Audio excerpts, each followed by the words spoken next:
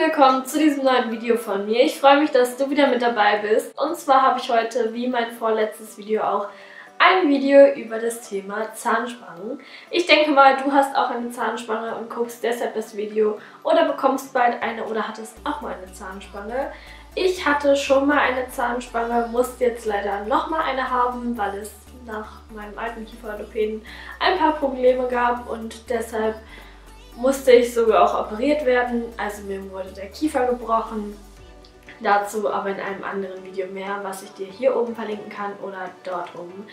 Da habe ich darüber nochmal ausführlich berichtet, denn darum soll es heute gar nicht gehen.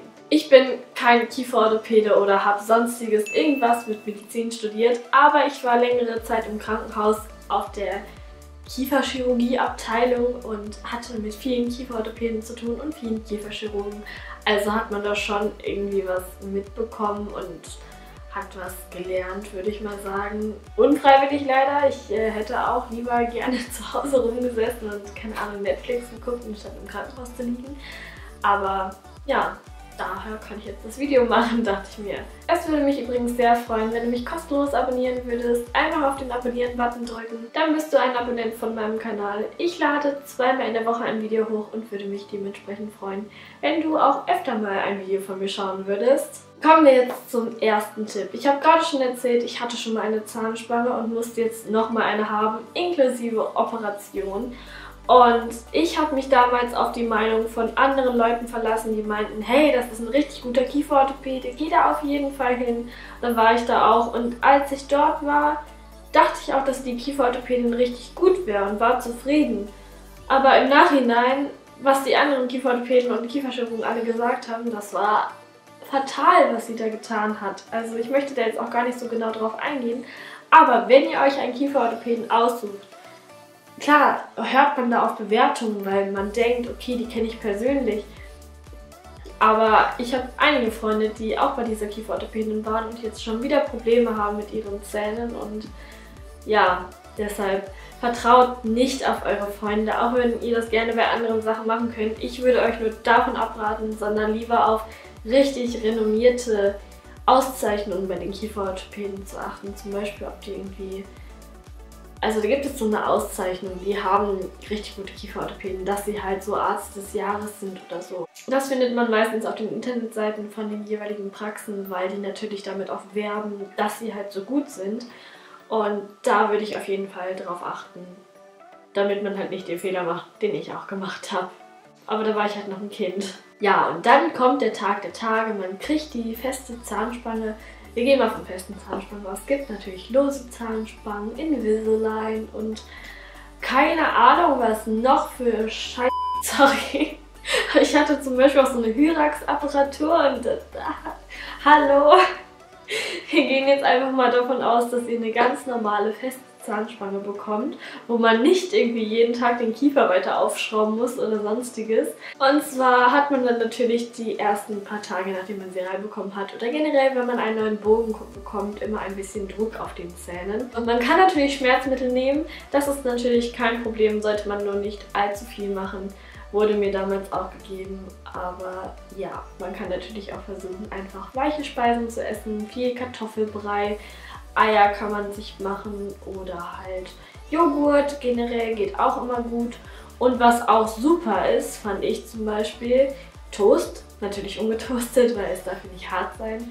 Und dann tut man da sich so ein bisschen Butter drüber. Ich finde das mega lecker und ich habe eigentlich die ganze Zeit und über die Tage nur Toast gegessen. Generell sollte man mit Zahnspangen ja auch möglichst viel weiche Sachen essen.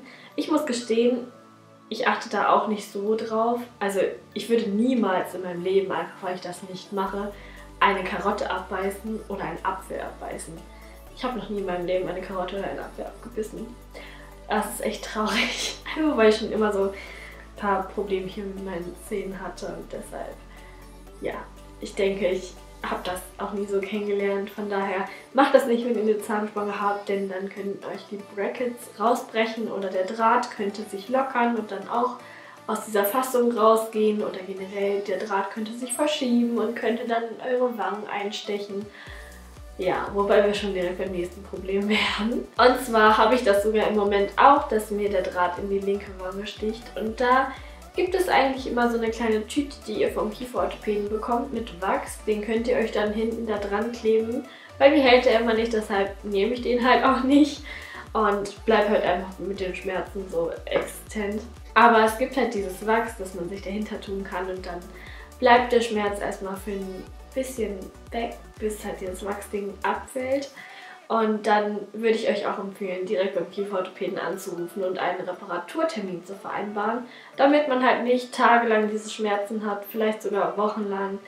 Das habe ich nämlich im Moment, also weiter ruft dann direkt beim Kieferorthopäden an. Generell soll man mit Zahnspangen hier auch wenig zuckerhaltiges essen oder auch generell nichts klebriges, also klebriges, also kein Lakritz, kein Karamell, kein Mauern, keine richtig klebrigen Sachen einfach, die halt, klar, es bleiben eh Stückchen in den Zähnen hängen beim Essen, das ist leider nicht vermeidbar, aber man darf halt nicht so klebrige Sachen essen, die sich da halt wirklich zwischensetzen.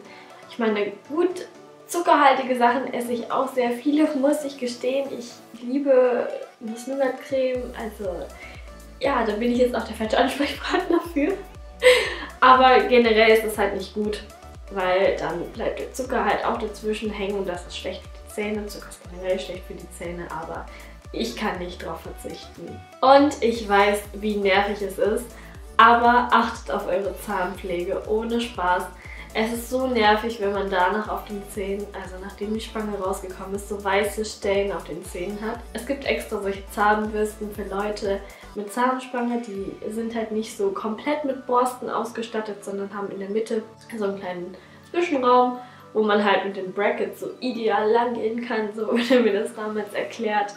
Und nach dem Zähneputzen mit der richtigen Zahnbürste nimmt man natürlich noch diese kleine Borste, die ihr glaube ich auch kennt und geht dann an jeden einzelnen Zwischenraum rein und macht den sauber. Und danach nimmt man noch eine Mundspülung und generell dauert Zähneputzen einfach so lange, als würde man eine komplette Duschroutine machen.